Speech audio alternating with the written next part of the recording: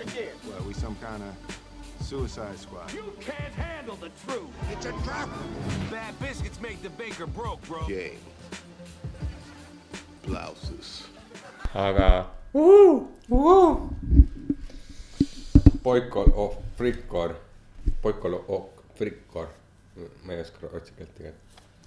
tegelikult ma ei oleks arvanudki selle, selle. ei, ma ma isegi ei. oska seda kuradi hääldust või ma ei tea, kas õige on. ma ka ei tea. Jag älskar knulla, Boikol of Frikko, Boikol of Frikko.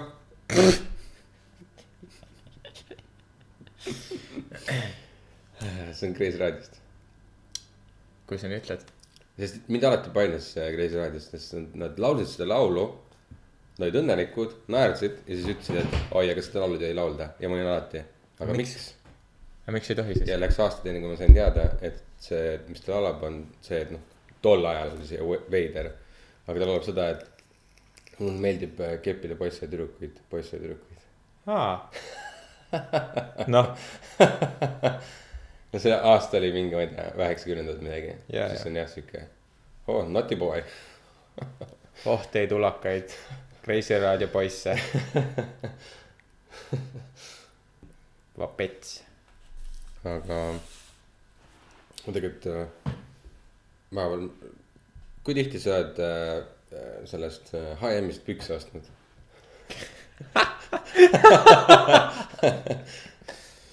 aga kusjuures ostsin ühed just alles hiljuti. mm.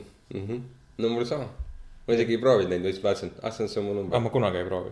aa no just, vaata kui sa tead oma numbrit, jah. siis on nagu see, et jah, ma olen ostnud siit poest täna, ma ei tea, mis su number on. ei, ma, ma ei proovi kuskil. säästad aega.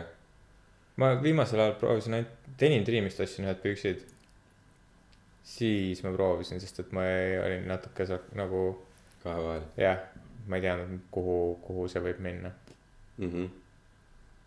ei, mu beef on lihtsalt sellega, et äh, äh, mul siuke tunne, et need, kes vabrikud või, või kes iganes on seal need juhid või asjad on ju, et nad on.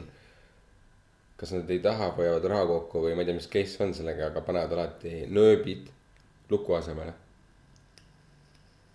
Selle pükstel või? mm -hmm. see on kallim variant kui lukk.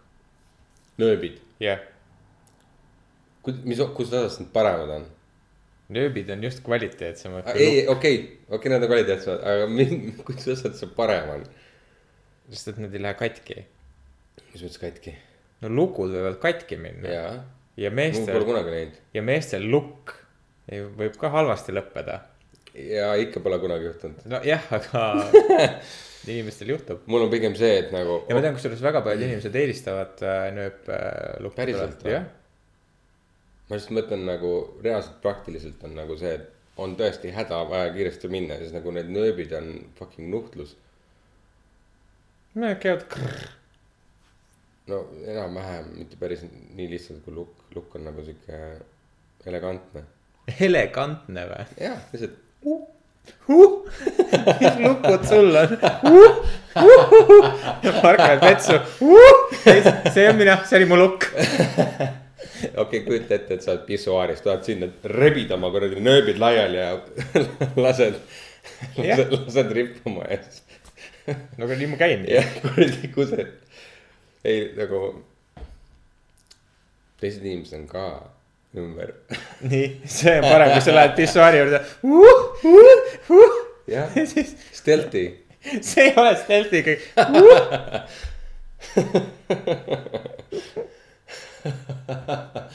täitsa lõpp. on ikka ju natuke Uh. okei, ma mõtlesin millegipärast, et, et see on lihtsalt laiskus või et nagu Ei. kõik eelistavad lukke. ei, see on aga ju just siis nagu kõik. tõmbavad oma kuradi peenised luku vahele kinni ja lukud on katki ja, ja ma ei tea, mis veel noh. ei, tegelikult on see, et odavamad nööbid on kvaliteetsemad kui odavamad äh, lukud. mm.. aga siis on ju ikka raha küsimus või? lõppkokkuvõttes on muidugi, siis ära osta HM-ist pükse. seal võiks ma ei tea, mina ostsin viimast HM-i püksid, seal polnud üldse lukku. aa, ma tean, need rohelised on ju, ei, mis siis? beežid. ei, mul on ka ühed, aga nad oleks nagu need ähm, dressipüksid. noh, mis näevad välja veits nagu teksad, aga samas nad ei ole. ei jaa, aga ei, neil ka ei ole mitte midagi, neil on umbes see, et kuradi tee ise noh. no ma ei tea, näiteks kui ma töötasin kunagi ammu G-Staris, siis olid enamus püksitööd minu meelest olid äh, nööpidega. no seal Mm. ei ole küll probleem sellega, et aa, meil ei ole raha, et lukku siia juurde panna. päriselt jah. mis mõttes päriselt? Et päriselt neil ei ole rahaga probleeme või päriselt nagu need olid, enamus olid nööbid? ei nagu päriselt, et äh, neil ei ole raha, et äh, lukke panna. Neil on, et neil ei ole probleeme selles mõttes, ja, jah. et nad valikuliselt panid äh, need nööbid. Nad olid meelega munnid. jah, nad on, nad on tuntud selle poolest, nad on munnid. mingi, üks esimesi teksa, suuri teksabrände, kes hakkas seda mm, recycled äh, materjalidest neid teksaseid tegema. Ja mingi üritavad Mhm. igatpidi nagu loodust hoida ja ka- kaitsta kõike, aga Mhm. nad on teada, teada-tuntud oma selle company policy poolest, et oleme võimalikult munnid. jaa, täpselt. mulle meeldib see inglise keeles on vaikselt populaarseks muutunud see, munnid.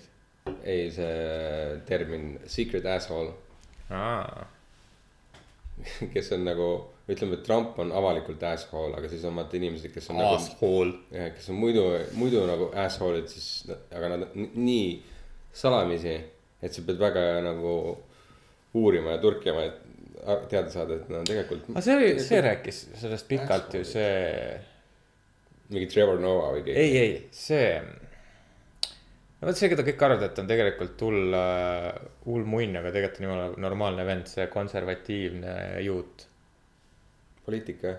ei, ta teeb seda, Ben saadet. Shapiro. jah, Shapiro, just. ja, ja, ja, ei no tal on, tal on see väljaspoole ka pinna, tähendab pinnapealne see Kajastus. arvamus, mis temast tekib, on jah. pinnapealne kajastus temast ja, ja, nagu ja ja, ja see on veel eriti aktuaalne, kus tema kohta lihtsalt valetakse. aga ta rääkis just pikalt sellest, et, et kuidas, miks on nagu see, et, et mingid need suured startup'id ja asjad tunnevad vajadust äh, inimestele seletada mingi asju, et mismoodi nemad arvavad ja tunnevad sellest mingi, ei, ma ei taha, sa teed mu veebibrauserit, mind ei huvita, kuidas sa suhtud sellesse mingi Jaa. muidu, tee oma veebibrauserit, ole vait nagu. täpselt see ma. tahan seda kasutada nagu mm. -hmm. et kui sa tahad eraisikuliselt midagi teha, siis tee seda eraisikuliselt või anonüümselt, aga mitte ära seosta seda enda firmaga, selles mõttes, et ega ma ei vali su seda firmat sellepärast, et mingi või noh, ma ei peaks valima seda selle järgi, et selle Jaa, eest peaksid sinu- hoolitsema teised äh, need. just, sinu. aga noh, samas vaata, see on jällegi see, et, et äh,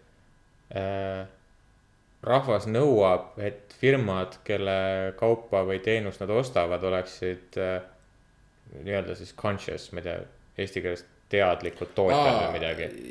ja, ja et neil oleks see, mis see sõna on, see on äh, see äh, consciousness või, ei mitte. mitte consciousness, vaid see. te- ma tean, ma tean, see sõna oli, oli vist peaaegu õige. Mis see on? ma ei tea, ma, kui ma, süüme, süü, mitte süümetunne, aga, aga no vahet ei ole, igastahes ma saan aru küll, mis sa mõtled, ma arvan. et täitsa perses lihtsalt Max Planck. vastutustundlikud. jah, täpselt. ja nagu inimesed nii-öelda kuidagi tunneks äh, või vastutaks oma tegude eest rohkem, et äh, käituks inimlikumalt. jah, no see on tüüpiline alati on kõikide firmade probleem, et neil puudub inimlikkus. no jaa, aga nagu see, vot ongi kahe otsaga asi. et võib-olla jaa, et, et kui sa reaalselt toodad mingi, ma ei tea, rehve näiteks. jaa, ma tahan, et sa toodaksid rehve jätkusuutlikult, nii et meil, ma ei tea, kahesaja aasta pärast on ka võimalik mingit rehvilaadset toodet tarbi-, tarbida, sest et meil maakera on alles. aga kui sa teed, toodad mingit reaalset veebibrauserit, siis nagu ma tahaks ainuke asi, et sul ko-, ko-, nagu kontor oleks paberivaba põhimõtteliselt mis teil tõenäoliselt on. kui te olete tech äh, startup, nagu. mida, mida te muud nagu suudate teha, selles mõttes, et vist nagu noh, pilveteenus näiteks. eriti need digiettevõtted. Et äh, jaa, kasutage võimalikult vähe paberit, ärge printige oma email'e välja ja ma ei tea, ärge sõitke, ma ei tea, liiga suure mootoriga autodega, kui te ostate firma autosid või midagi, ma ei tea, aga nagu mida, mida veel? eriti kui on muidugi see konkreetses riigis on võib-olla mingisugune suur import äh, puitu selleks, et teha pabereid, tuleb kuskilt X kohast, kus Jah. on see probleem, on ju. mis on see, et ma kujutan ette, et meil jällegi seesama, vaata, mis sa oled ise ka rääkinud, et Eestis meil vist ei ole probleemi sellega, on ju. Mitte maa puiduga, vaid veega oli see teema, mis. no veega, aga ma mõtlen, et äh, puu, puiduga ka ei tohiks probleeme olla vist. no puiduga oli just, oli ju see skandaal meil siin ju. jaa, meil oli just see skandaal, et. paberi osas vist või? ei, puidu impordi ja ekspordi, või noh, me impordime, ekspordime puitu, vaata, see on üks päris suur mm. Mm. ekspordi osasid, mis meil on.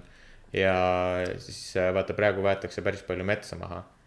Ja Aa, siis jaa. inimesed olid, et vau wow,, what the fuck, miks me nii palju metsa maha võtame, et kas meil on raha otsas riigi nagu reservidest, et me nii palju metsa peame müüma, sest et noh, väga suurt osa metsadest, mis maha võetakse, on riigimetsad. Mhm.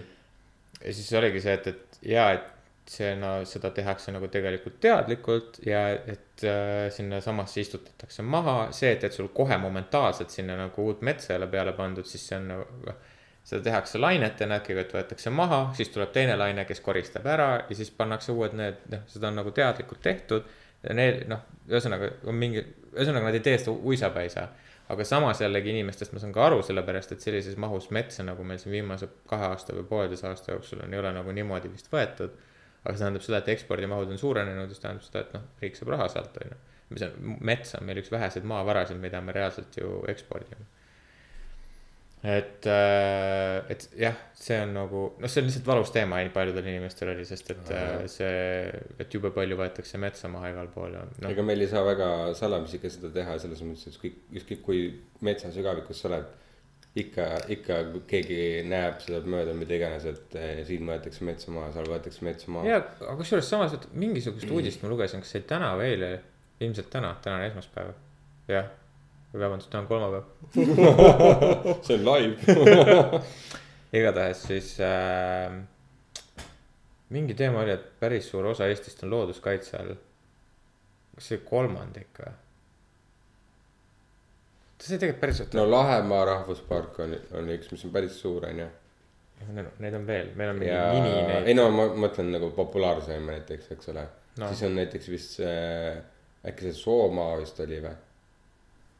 Et sa otsid, kindlasti saarte metsad on päris palju ka kaitstud. et sa mõtled seda, et, et äh, millised on Eesti looduskaitsealad või? no need on kindlasti kaitse all. ei no muidugi, meil on väga palju osa, väga palju seda maad on äh, looduskaitse all. jah, meil on ka väga palju väikseid tükikesi, mis on veel eraldi maaga äh, selle looduskaitse all, kus kasvab mingi spetsiaalne taim niimoodi, et sa ei tohi, isegi kui see on sinu maa mm., kui seal kasvab mingisugune taim ja see on kirja pandud, et seal kasvab see mingisugune taim või loom või mingi asi, sa pead ära tõestama, et see enam ei kasva seal selleks, et sa võiksid seal midagi teha. sa võid seal käia, aga sa ei tohi seda rikkuda, sa ei tohi ehitada, sa ei tohi mitte midagi seal põhimõtteliselt teha, isegi kui see on sinu maa. Mm, see on loogiline. et äh, see on jah. nii, aga äh,. oo, vaat kui huvitav. Tartu Ülikool kuulutas Soetso ja Anastasia Kovalenko magistriõppe lõpudiplomit kehtetuks. see on muidugi huvitav. Ossa poiss, mis nüüd toimub? mingid reidid või? aga sa ei tea seda või? seda case'i või? sest oli, ma kuidagi pole üldse jõudnud lugeda Eesti uudiseid, ma see oli juba tükk aega tagasi, enne valimisi oli see teema, kus äh, samal ajal kui see Vakra ai, Vakra jah, sorry. teema oli, siis äh, mingi nädal aega ennem tuli see Kovalenko teema aa, ja need põhimõtteliselt koos ja siis äh, oli see, et äh, tema töö oli suuresti, ühesõnaga mingi plagiaadi küsimus oli seal.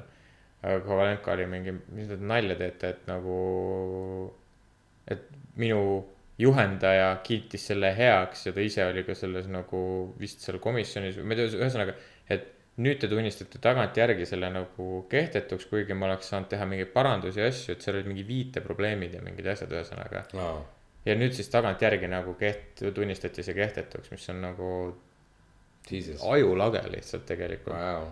Et tunnistage siis nagu ülikool, et jaa, me lasime läbi, ma ei tea, andke talle võimalust mingi parandused sisse viia või ma ei tea, mis no see iganes. küll nõme jaa, aga see tundub mingisugune poliitiline mäng jälle no ilmselgelt, aga ülikool ei tohiks olla koht, kus äh, no ülikool peaks olema viimane poliitiline koht. kusjuures see on hea tõestus vist sellest, et ju siis ei ole noh. oo, all, allfilm ja Warner Bros filmivad suvel Eesti Hollywood suurfilmi. aa ah, jaa, ma nägin ka seda. Vau, väga cool. Tallinnas mastaapse Hollywoodi mängufilmi võtta. jaa, aga ma just mõtlesin ka, et issand, et äh, huvitav, Eestis pole kunagi olnud mingit siukest asja minu arust Lähme või mm? -hmm. casting ule? Mm -hmm. saab raha ka. Background actors, men and women, aged eighteen to seventy, vau. ma ei tea, kas ma sobin. saad öelda, et äh, näe, mina olen need kaks pikslit seal, jah, kui üldse leiad ennast. põhimõtteliselt. aga oota, see oli minu meelest täna oli see uudis, ma tahan seda, minu meelest see oli päris huvitav, läheb jälle arutamiseks, kas Pluto on planeet või mitte. oh issand jumal. oota, see, ma arvan, siin allpool kuskil, hakkame altpoolt üles tulema. sa võid rääkida vahepeal midagi Mhm. mm? -hmm. See on hästi lihtne. ma hakkasin mingit huvitavat Instagrami kontot jälgima. kus äh,.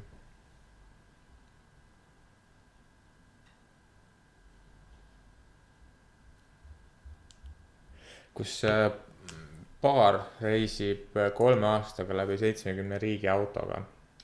Mm.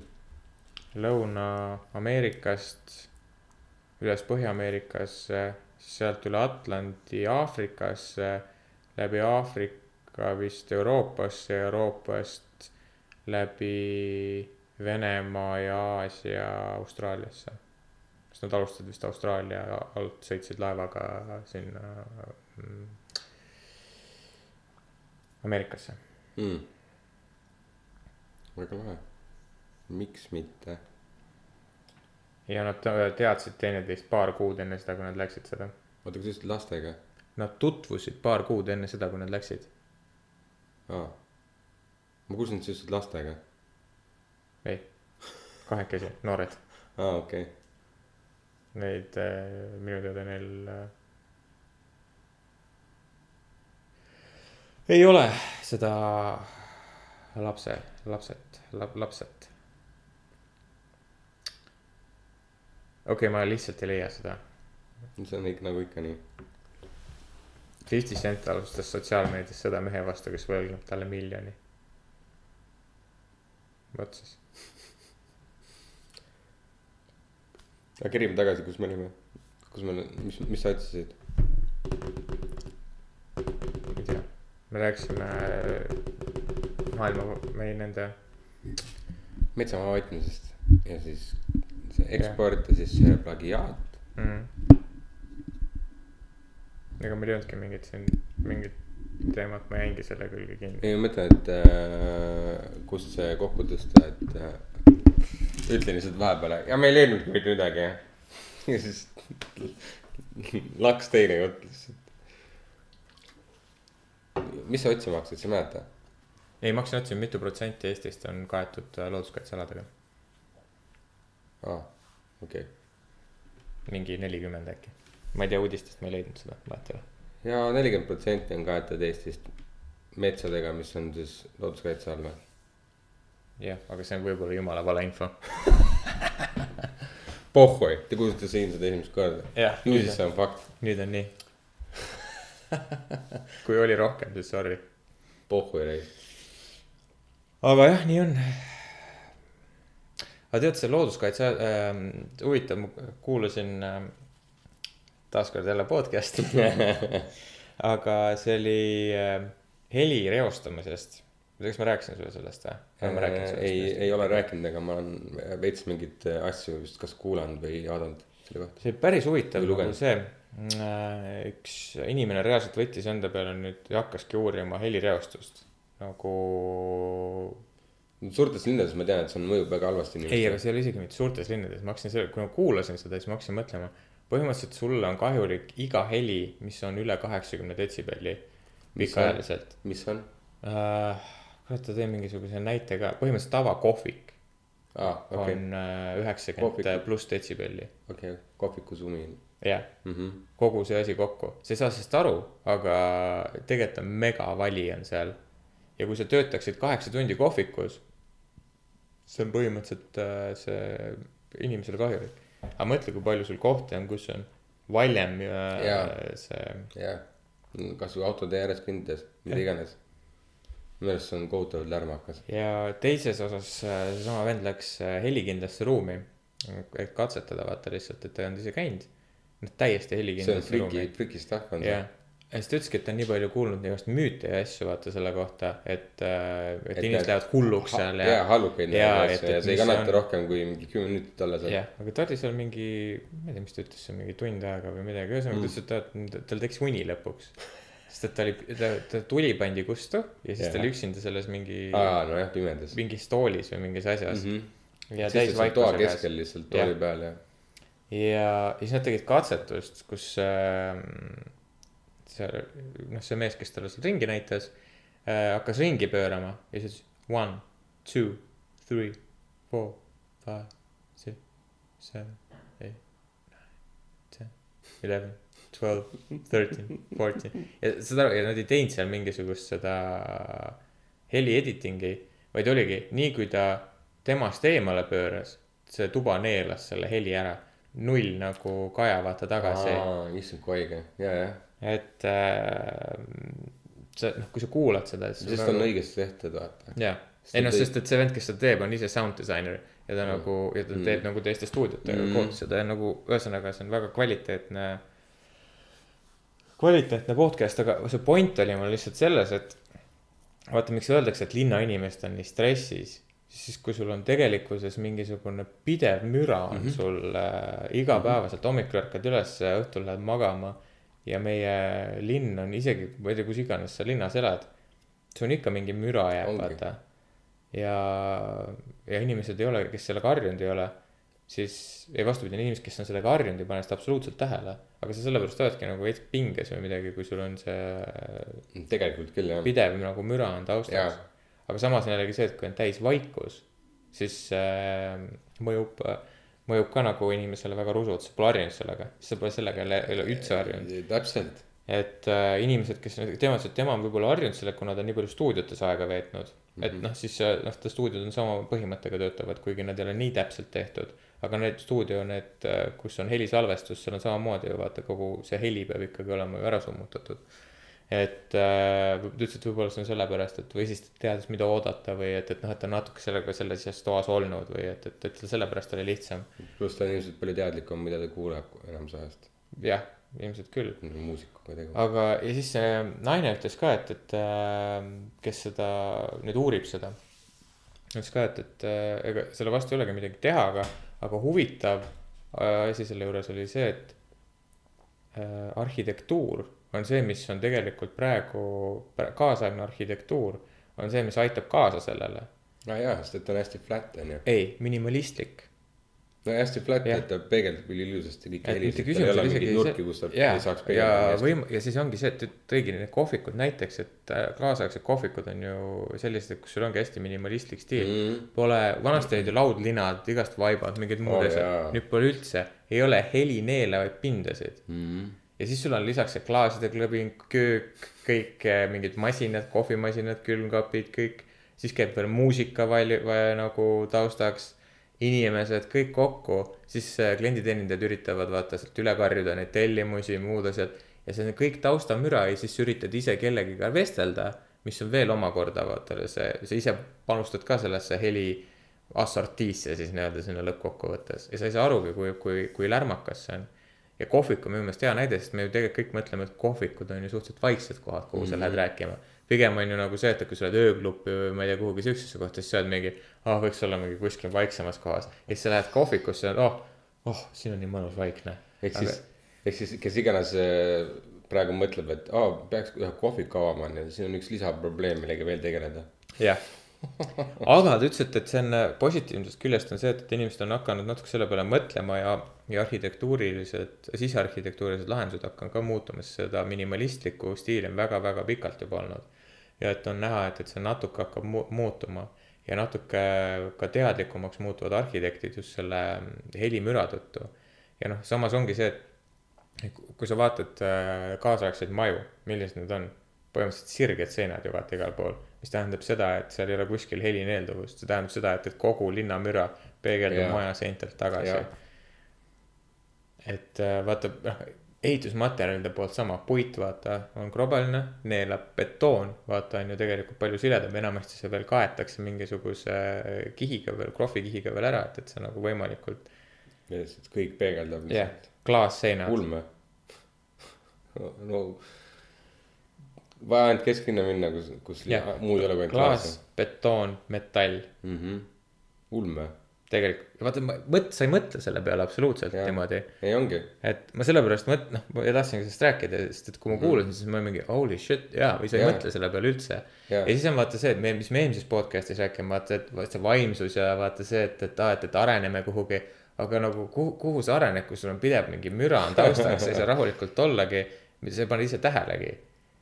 ja sul on nii kui sa uksest välja astud, siis sul on äh, mingi võõras sinu poolt mitte soovitud lärm, millest sul puudub igasugune kontroll, sa ei saa ise nagu volüümi nuppu nagu millega sa ajaga muidugi küll harjud, aga nagu samas ta ikkagi kuidagi nagu alateadvuslikult sind ju häirib. ja vaata, miks sul on see, et kui sa koju jõuad, siis sul on, ah,. lõpuks. sest et mm -hmm. esiteks, kui sa uksest sisse astud, enamasti sul on äh, vaikus või siis, kui sul on kodu, siis sul on su kodused hääled. kui sul on pere, siis sul on perehääled mm, -hmm. need on sinu jaoks meeldivad mm. -hmm. Need on okei okay,, isegi kui laps karjub, okei okay,, jah. See ei ole nagu tol hetkel meeldiv, aga samas see on, noh, sa tead seda, see on sinu jaoks mm -hmm. nagu noh, tuttav. aga, aga, aga kui sa astud uksest välja, siis see on kõik, mis sealt tuleb, on see, mis äh, häirib. ja kui sa mõtled selle peale, siis ühistranspordis asjades, kui palju on neid inimesi, kellel on võimalik, kes ei kanna klappe, kõik kannavad klappe Aa, jaa. põhimõtteliselt ja see on lihtsalt selle jaoks, et olla nagu omas mullis, omas Jaa, äh, selles. on küll jah, kontrollida seda Jah. heli, mis sa kuuled, mul on. ma tean väga palju inimesi, kes panevad lihtsalt klapid kõrva, lihtsalt selle jaoks, et oleks nagu ah,. jah, natukenegi täpselt ja, midagi. ja mul näiteks jalgrattaga sõites ka mööda linna on lihtsalt äh, noh, niikuinii on hea muusikat kuulata. ma pigem isegi kuulangi muusika pärast, aga ilma klappideta on ka nagu suht äh, kohutav sõita mingi autode kõrval või kuskil, et mina olen nüüd avastanud tegelikult seda, et ma ei tahagi nii väga valjusti muusikat kuulata enam, kuid äh, tegelikult tahaks just nagu seda, et, et sa kuuled seda muusikat ja seepärast ongi mulle, miks mul need, mis kla- klapid võtta, mis kõrva sisse käivad, miks mulle need rohkem meeldivad, ongi see, et kui ma käin nad kuskil. summutavad muu heli, sa ei pea heli põhja panema, just, ma saan. kuulata põhimõtteliselt äh, telefonis veerandi või allapoole igastahes on mul volüüm ja ma kuulen ilusti, ma saan rahulikult oma asjade, asju teha ja ma kuulen nagu kõike. täpselt see, minu jaoks on need geniaalsed, ja, ja nagu, sest et ta kasutab su kõrva kui bassi ka, ja heli on kordades mahlakam. et äh,, et ühesõnaga, kui te plaanite endale klappe osta, siis ka nagu top tipp, siis ostke nagu normaalsed klapid, mitte et ei peaks kuulama mingi põhjas. No inimestel on hästi palju mingeid imelikke neid ähm, tingimusi nendele kõrvatropp klappidele, ma ei tea, kuidas neid nimetatakse, mis nagu kõrvatropp. summutavad, kõrvatropp ka, ma ei tea. ega ma ei tea, see kõlab päris hästi. jah, aga nagu, sest et summutab nagu, nagu, nagu tavaline kõrvatropp, ta summutab kõik Jah. ära. aga samas tal on siis nagu see üks osa, mis nagu muusikat mängib mul on veel see, et, et mul teeb seda veel lisa seda summutusheli veel. aa, okei, vau. ta teeb seda mingi, mingi staatikat aa, põhimõtteliselt nagu paneb minu see püksilukk. jah, nagu, jah, täpselt. täitsa veel. Ja samast tehasest, samast tehasest. normaalne. sellepärast see ongi tuttav, nii tuttav heli, kui sa WC-s käid tavaliselt. selle kuradi, ei inimestel on see, et neil nagu häirib see, et mingi midagi on kõrvas niimoodi nagu tungivalt või siis neil ei mahu või ma ei tea, mingid erinevad probleemid on, aga ma ei tea, kui sa tegeleda selle probleemiga, lahendada see enda jaoks nagu õigesti, et kuidagi meeldib see. no vaata, teine Siis- probleem on see, et neid ei saa proovida poes. jah, vot poes ei saa proovida, aga üldjuhul ma olen ostnud erinevaid neid äh, klappe ja tavaliselt on tulnud. Kõigil tuleb kaasa. jaa, täpselt. kolm erinevat otsikut. ma ei ole ühelgi muutnud. ma ka mitte kusjuures. standard, standard alati sobinud, ma ei tea. mul mul vist ei ole värdjad kõrvad. sul ka mitte. Ma ei tea, mis teistel viga on. võib-olla probleem ei ole kla-, troppklapis, võib-olla probleem on teie kõrvas.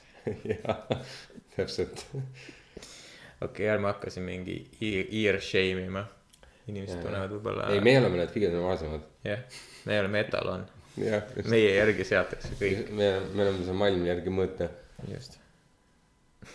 aga äh, aa, ma tahtsin selle helireostuse osas ka veel öel- öelda veel, et see oli see, et üks talv oli ka, mäletan, ma läksin äh, maale ja vist mingi sünnipäev oli või ma, ma ei tea, mis, see oli üliammu nagu, aga nagu linnast maale ja öösel ma läksin õue. vist oli mingi, mingi suitsupaus ma ei tea, mis toimus, onju, ja. Mul oli siuke tunne, nagu ma oleks kurt. sest vaata sellest lumest ja nagu muidu maaurga, noh mitte urgas, aga nagu mingi keset ei midagi, et onju. oli see mingi talu või mis iganes mm, -hmm. aga nagu lihtsalt null heli oli yeah. põhimõtteliselt ja nagu oligi siuke tunne, nagu oleks kurt mm. -hmm. sest tava, tavalise maainimese jaoks on see nagu see et tavaline nagu ikka yeah. midagi veits kuuled, aga mul oli nagu siuke tunne, nagu ma oleks kurt, mul oli nii imelik. ja siis astud ja siis kuuled. Krõbinaid Jah. jah yeah., aga jah, see oli siuke, no see on lihtsalt see hea näide, see paralleel sellega, sellele, et sa oled linnaeluga harjunud. jah, ei talvel lumi äh, matab väga hästi. matab väga hästi jah. aga ei no lihtsalt tegelikult maainimesel on see ikkagi nagu normaalne, ta ei tunne, et ta oleks kurt või midagi, tema jaoks pigem see linnatulek on, issand, kui kuradi lärmakas see kõik Jah. on. Aga tegelikult ongi. aga meie oleme nagu, et ai, see on fine. jah, aga tegelikult ongi lärmakas. jah, täiega. ja närviline kõik on jube närvis. täiega täitsa perses. ma räägin, eelmine kord rääkisin ka sellest signaalist ma sõitsin ühe taksojuhiga üks päev. see lasi ka mingi poole tee pealt lasi mingit signaali, sest et keegi näitas suunatuld ja tahtis nagu ette reastada. ja, ja, ja. siis ma olin mingi Aa., what the fuck. ja mul oli ka, et ma sõitsin rattaga läbi selle Kadrioru vist kuskile ja siis üks, ma ei tea, kas Kadriorus on üks ristmik, kus on, läheb vist T5-ks. Ja see on siuke koht, kus sa jõuad sinna, kui sa esimest korda jõuad. sa mõtled seda, kus on see Jehoova kiriku ees või? mm, ta on natukene sinna selle äh, staadioni poole. mis seal on, see Kalevi, ei, jah, on Kalevi staadion või? ma ei tea. jah. ja see või tegelikult isegi selle ETV maja poole rohkem, kuskil, ühesõnaga mingi üks tänav on sel- selline. ja mingi naine tuli just oma kaubikuga sinna ja ta oli nagu see, et oh sa puts, kuhu ma nüüd pööran, vaata. aga nagu tagant oli juba mingi fucking mersu vend, ta vist ootas kaks sekundit ja kohe lasi signaali ja ma nägin, kuidas ta roolis kar- karjus. see oli ka nagu, et mul oli küll muusika äh, äh, kõrvas ja ma nagu õnneks ei kuulnud liiga palju seda, aga nagu mul oli küll see, et nagu vau, päriselt või, nagu kõik ei ole viiend-, viiesajandat korda siin ristmikul, et nagu no täpselt, aga võta natuke vabalt. jah, kuigi ma pean ütlema, nagu mind üks päev ajas nagu veidi ärritas, ütleme nii. sõitsin Järvevana teel äh,. vot see, kus tunnelisse läheb mm. -hmm. ja vasakpoolses reas äh, sõitis üks auto. ütlesin, jaa, okei okay,, chill. sõitis mingi seitsmekümne viiega või midagi, jaa, okei okay,, okei okay,, cool. et ma pean niikuinii siit reast edasi minema, et nagu noh, see viis kilomeetrit see. ja enne tunnelit pidurdas neljakümne viie peale. Ja ma olin mingi vau, vau, vau, vau, sa ei oota seda, sest et see on see, kus tavaliselt inimesed sõidavad mingi kaheksakümne viiega, vaata. tavaline liiklusvoog on seal mingi kaheksakümmend viis, kaheksakümmend on mingi noh, usual, teinekord isegi üheksakümmend. ja siis keegi lihtsalt pidurdab järsku. Vau, vau, vau, vau, vau, vau. tal on väga tugev rastrofoobia. ma ei tea ja saad aru, mul ei olnud midagi teha ka, vaata, ma pidin pidurdama lihtsalt. Muidugi. ja mis sa arvad, mis mul tagant tuli? tagant tuli ka mingi signaal kohe, mingi oh täitsa räige. ja siis mingi tekkis väike auk, see kohe pani sinna, süstis sinna vahele, siis näitas mulle rusikas ja vaatas, aa, kurat, ma ei olnudki esimene. täiesti lõpp nagu ja siis äh, noh, ma sain ka lõpuks mööda ja siis oli mingi vana mees prillidega. siis oli oi-oi, pime. oota, võtame siit hoo maha. täitsa see küll, et täitsa lõpp, et nagu see on ohtlik. Ja see on liiklusohtlik ja olukord. et nagu ettearvamatu käitumine kohtades, kus äh, on kuidagi mingi, mul, mul tihtipeale ka on endal ka, kus on see, et ma nagu. ma noh, küll jälgin, mis toimub liikluses, aga ma mõtlen tihtipeale seda, et mul võib-olla tähelepanu nagu korraks hajub kuskile mujale, ma ei tea, raadio, mis iganes, on ju. jah, ja, ja ma mõtlen küll seda, et okei okay,, siin praegu on see üks voog, aga kui keegi peaks mingi siukse kuradi äkkliigutuse tegema, et see nagu noh, muutub kuradi siit, noh, ei lõpe hästi, vaata. et noh, a la sama, et kus inimesed sõidavad tunnelisse või kus iganes, et sa ei oota, et keegi viskab neljakümne viie peale selle kiiruse järsku. aga ma sellest liiklusest rääkisin enne päris palju. vaata, mis, loe seda, vaata, mis sa arvad sellest. president Kersti Kaljulaidi märgilise sõnumiga džemper valmis eritellimusena noorte disainerite käe all. Kersti Kaljulaid, Kaljulaidil on äh, džemper siis, millel on sõnum, sõna on vaba, sõna aga mis see peaks ütlema?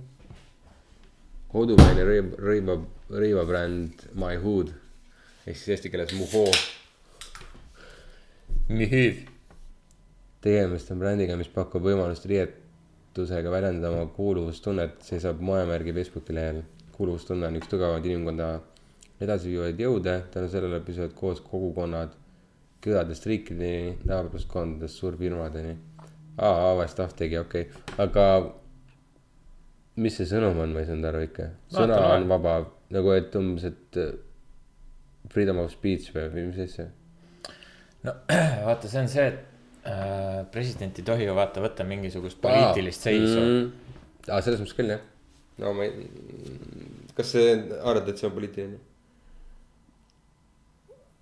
Kas ma arvan, et see on poliitiline või? ei, nagu mitte selles mõttes, et nagu okei okay,, arv, arv, arvama on võib-olla halb sõna, vaid nagu kuidas sa täpselt seostad selle poliitikaga. sa võid ükskõik mis asjad äh, tõmmata, et näe, see on nüüd. ja okei vaata, sa võid, ta võib kanda ükskõik mis hetkel seda džemprit, see ei ole poliitiline mm, -hmm. ta võib minna piima ostma, mida ta ilmselt ei tee.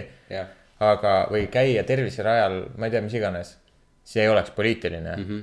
kui ta istub riigikogus sellel, kui ministrid ametivannet annavad džempriga, millel on nagu sõna on vaba, siis see on poliitiline. see on see väike erinevus, sellepärast ma ütlengi. kuule, mul jäi lugemata see esimene. vaata see bold'iga osa ja, ja, ja on see, ei no ma mõtlesin, et äh, ta kordab või kirjeldab pealkirja äh, kuradi tiibivalt, aga mm -hmm. täna andsid Riigikogu ees ametivande uue valitsuse liikmed. See on see, miks ma ütlen. sihuke kuradi pudru meil käib, no jõhker lihtsalt. et äh, ei, president ei, ei siis küll jah, muidugi, siis pole küsimustki. aga jällegi vaata nüüd ongi see küsimus, et kas see on nüüd õige või mitte. kas, kas president, esiteks minu meelest on nagu narr, et president džemprid kannab. riigikogu, kui inimesed võtta, annavad ametivannet, siis see tundub mm -hmm. minu jaoks nagu, no ma ei tea, Mm, ei tea jah, kas see on see. nagu.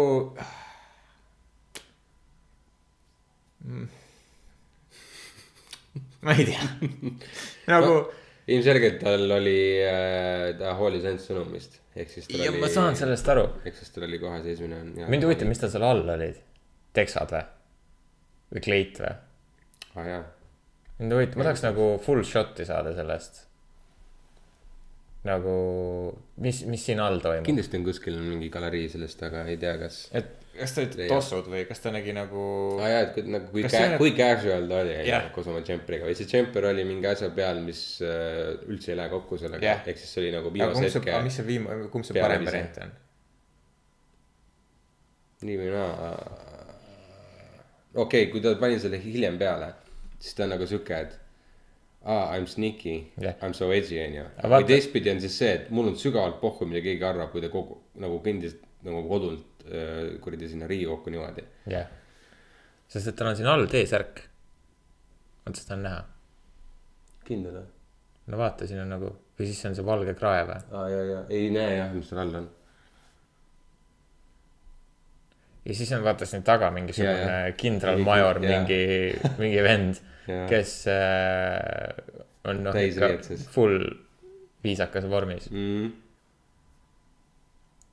noh, nagu minu meelest teinekord on, vaata selliste asjade puhul on see, et, et see riietus on etikett selle põhjal, et sa avaldad austust mitte ainult nagu enda suhtes ja nende inimestega, kellega sa kohtud, vaid kogu selle sündmuse osas. mitte see, et, et sa nagu noh, okei okay,, võib-olla president ei austa näiteks seda valitsust, kes, keda ta praegu pidi sinna nimetama. aga see ei tähenda seda, et sa siis nagu ministeeriumit kui sellist ei austa, nagu seda institutsiooni no jaa, ta ei saa midagi muuta ju. jah, et ma ei tea, minu meelest see on natuke nagu lapsik koht, kus sellist asja teha. nagu presidendi jaoks, nagu igasugused muud tegelased võivad teha, mida nad tahavad, aga nagu. Ma ei kujuta ette näiteks, et president Lennart Meri oleks tulnud džempriga nagu mini-, kui ministrid nagu ametivannet annavad, ta oleks neile öelnud konkreetselt, mehed, kokku ennast jaa, näiteks. aga mitte ta ei oleks pannud mingit džemprit, kus on kirjas sõna on vaba.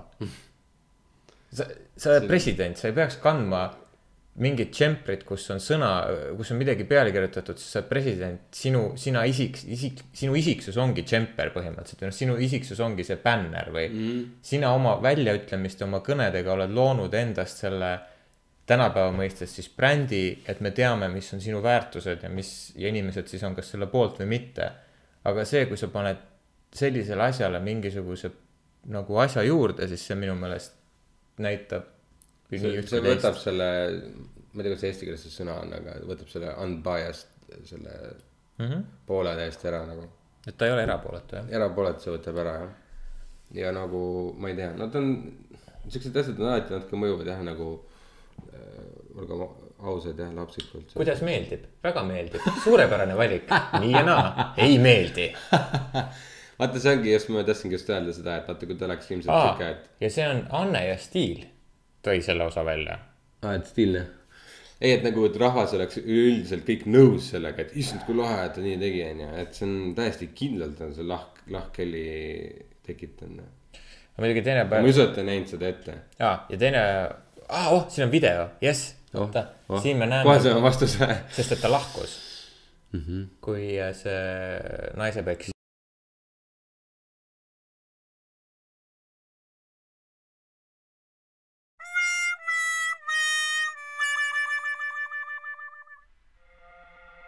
ούτε μίλησε τροσκούσε. Δεν μίλησε τροσκούσε.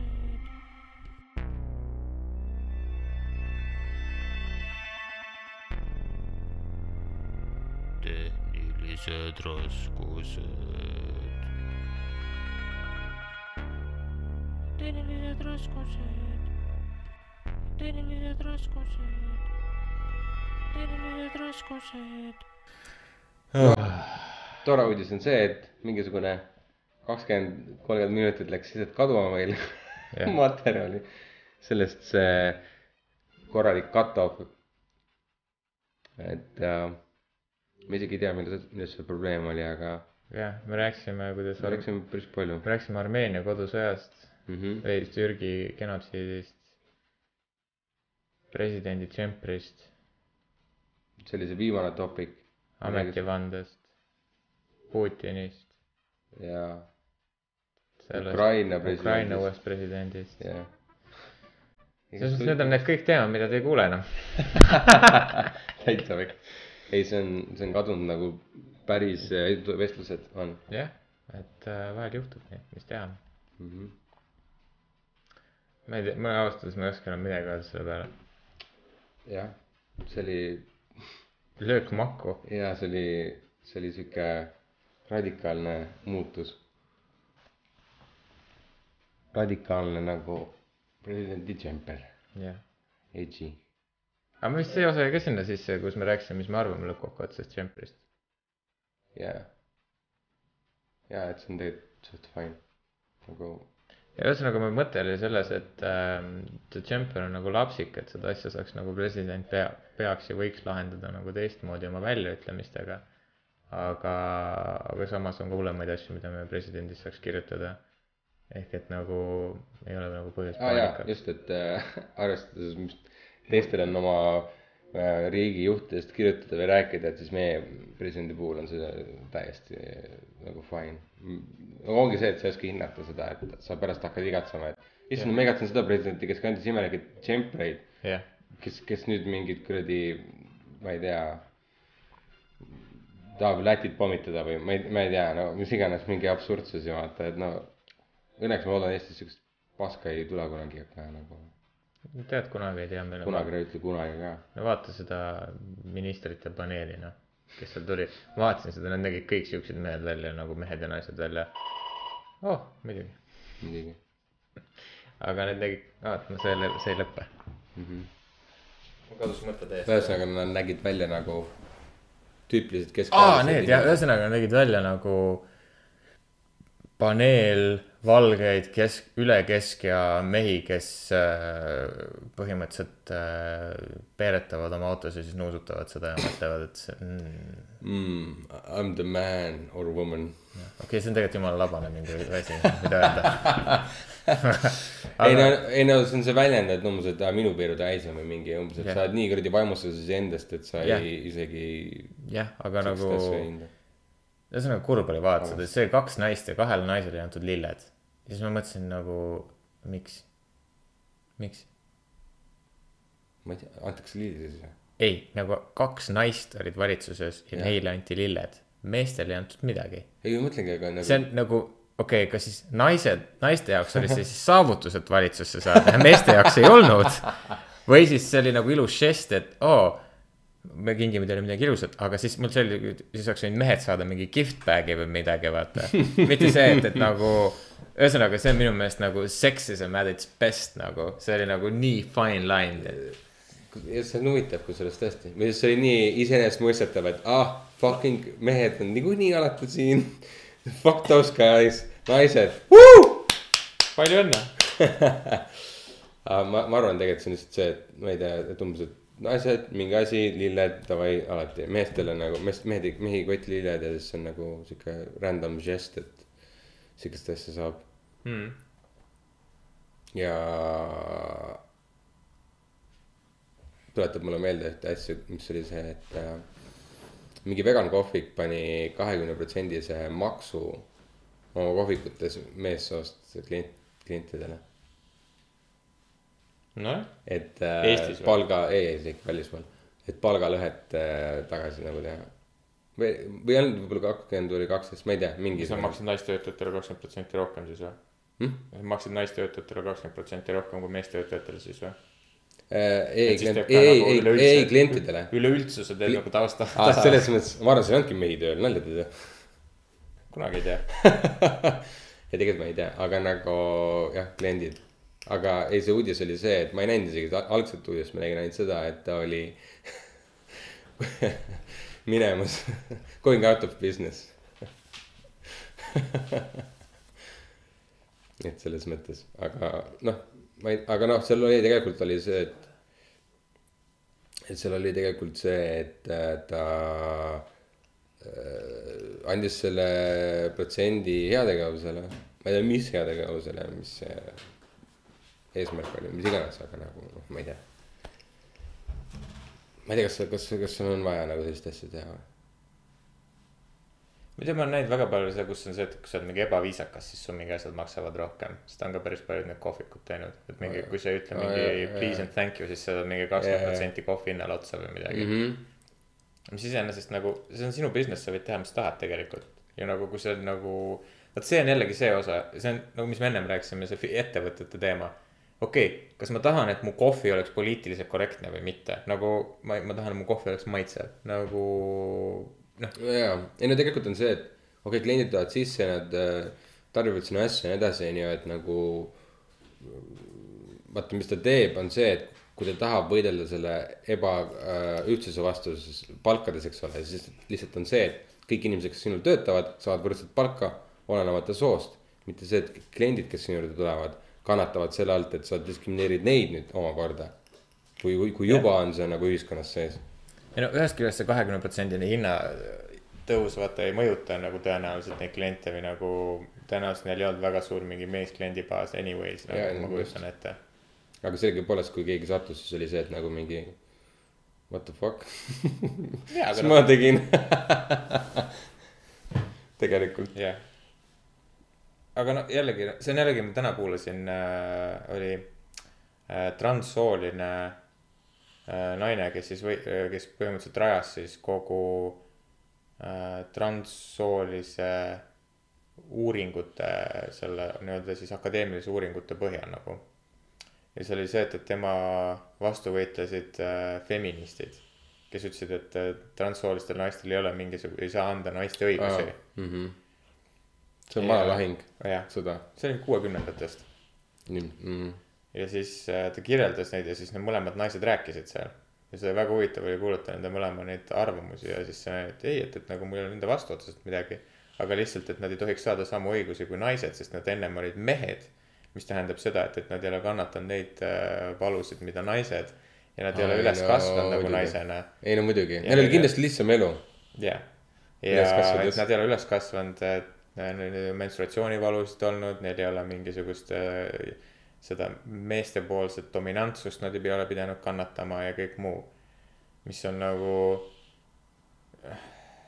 ühesõnaga, kõige parem oli lihtsalt selle asja juures see, et seesama naine, kes seda rääkis, see feminist, kirjutas esimese raamatu, mis pidi olema nii-öelda siis trans, tegelikult selle nimi oli äh, Transgender Imper-, ei Transgender Attacks või see kuidagi Star Warsilik nimi oli see endal. mingi the, the Transgender Strikes Back või ma ei mäleta kuidagi aa, okei, midagi siukest oli seal.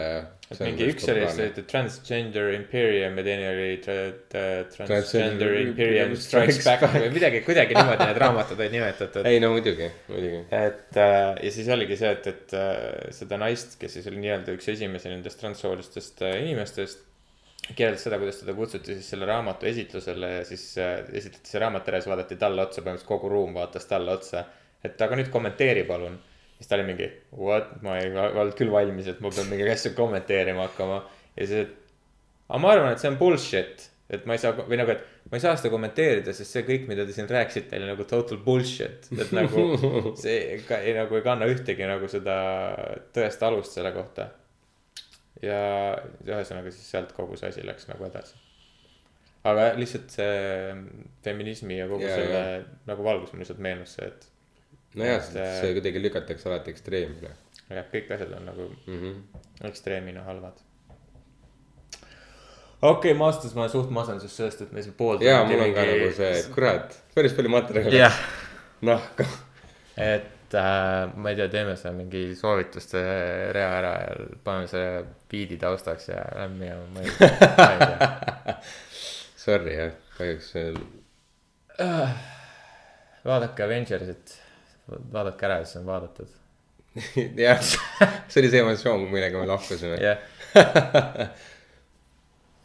ei, ei noh, selles mõttes hea oli, mingi kindlasti vaatame isegi, kui teil mingi, ma ei tea. Ei no see on kinoelamus. või õigemini niikuinii te lähete, mis. see on sama nagu, ei no see on sama nagu ütleme, kui Michael Jackson käis Eestis. ma oleks tahtnud minna, kas sa oled Michael Jacksoni fänn või mitte, aga see on maailmaklassi see esitus, ja, ja. sa oled vaatad seda, et nagu Jah. Ja sama on selle Avengersiga, kas see on mingi filmi ajaloo mingi kriitiline top film? kindlasti mitte. mm.. kas seal on mingi sisu? no me teame juba seda sisu kõik, teadsime, kuhu see läheb Jaa. mõnes mõttes. kui, küsimus on, et kas ta on nagu eelmine osa, siis ei. ta ei ole üldse nagu eelmine osa. ta on vastupidi vastupidi, täpselt on vastupidi. nagu kõik need koomiksifilmid, aga jah, nii on äh,. Rammstein lasi uue loo välja, Mm -hmm. kuulake seda.